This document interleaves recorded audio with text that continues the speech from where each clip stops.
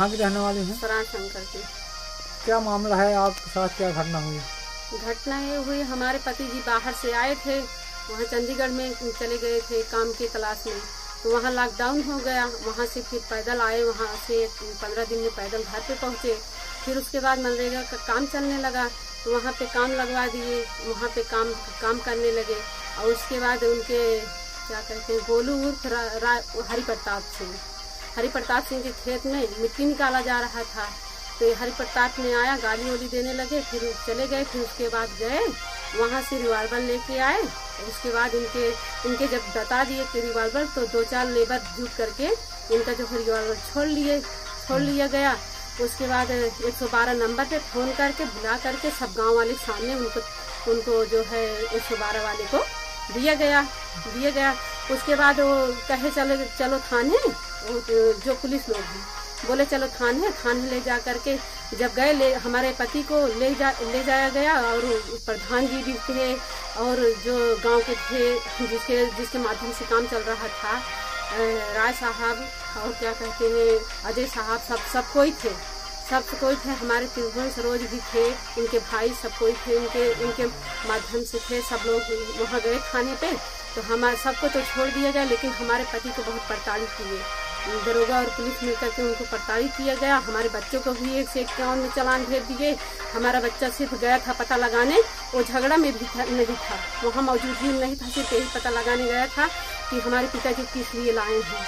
उनको भी ज़बरदस्ती वहाँ वहाँ दूर खड़ा था। ज़बरदस्ती दरोगा धकेल के उनका क्या नाम है? अरे कबीर कबीर उन्होंने ज़बरदस्ती धक्का दे करके हमारे बच्चे को प्रताड़ित किया गया और पुलिस लोग भी प्रताड़ित किए। तो उनको तीन सौ सात के मुलजिम बना करके जेल भेज दिया गया। हमने गया वहाँ न्याय कुछ नहीं मिला हमको। जो कि एकदम निर्दोष है हमारे पति एकदम निर्दोष है कुछ भी नहीं किए थे न झगड़ा लड़ाई। उनके ऊपर कट्टर बताया गया जब रिवाल्वर तो वही सब लोग जुट करके मजदूर चार पाँच लोग जुट करके छीना गया तीस चालीस जन के बीच में काम कर रहे थे। सिर्फ़ पुरानी पुरानी रंजिश के कारण ये सब किए थे। कौन सा थाना है? थाना कोहड़ौल जिला? जिला प्रतापगढ़ ग्राम सभा का शंकर प्रधान। आप प्रधान हैं? जी। उस दिन आपके गाँव में एक घटना हुई थी। जी। आपका नरेगा चल रहा था। जी। तो ठाकुर दबंग व्यक्ति के थे। जी। उन्होंने आपके लेबर के साथ मारपीट की है तमंचा के साथ। जी। क्या मामला है पूरा? मामला यही था प्रवासी मजदूर जो हमारे ग्राम सभा में लॉकडाउन के कारण वापस घर आए हैं। मैं इनको नरेगा के तहत काम दिया गया। काम कर रहे गोलू और हरि प्रताप सिंह का थोड़ा सा वहाँ दो हिस्से की ज़मीन थी। उसमें से मिट्टी लेबर लोग उठा रहे थे, रोहित सरोज को मैंने काम पे मेढ़ बना के रखा, वो काम करवाते थे।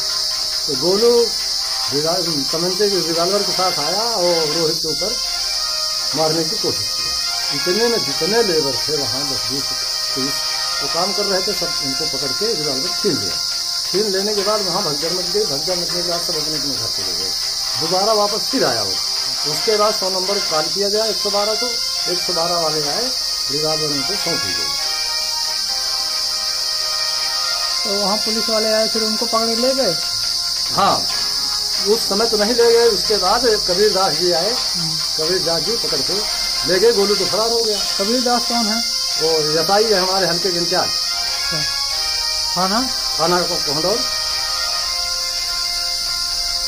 तो उनको जो उनको ले गए पकड़ के। जी। क्या किया? उनको छोड़े कि छोड़े नहीं उनका तीन सौ सात में चलान कर दिए। किसका? रोहित कुमार का। रोहित कौन है? रोहित सरोज है हमारे ग्राम सभा के हैं। मजदूर। अच्छा, मजदूर को चलान कर दिए? जी। रोहित जो उनके खेत में ठाकुर साहब वो तो फरार हो गए। उनको कुछ नहीं कहे? उनको तो कुछ नहीं हुआ। वो तो फरार हो गए। बेकसूर को फंसा दिया गया। बेकसूर फंसाया गया? जी। Peace.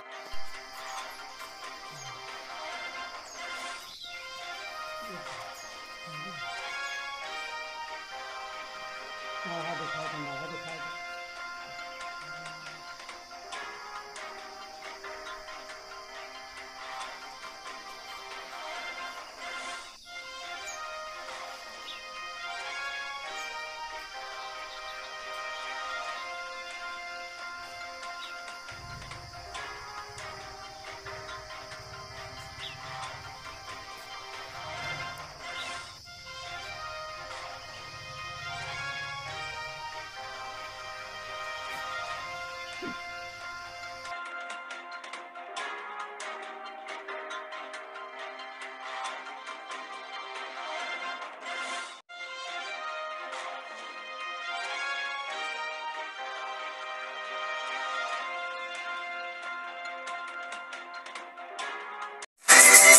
जनवाद टाइम्स की सभी खबरों को लगातार देखने के लिए चैनल को लाइक, सब्सक्राइब और शेयर ज़रूर करें। धन्यवाद।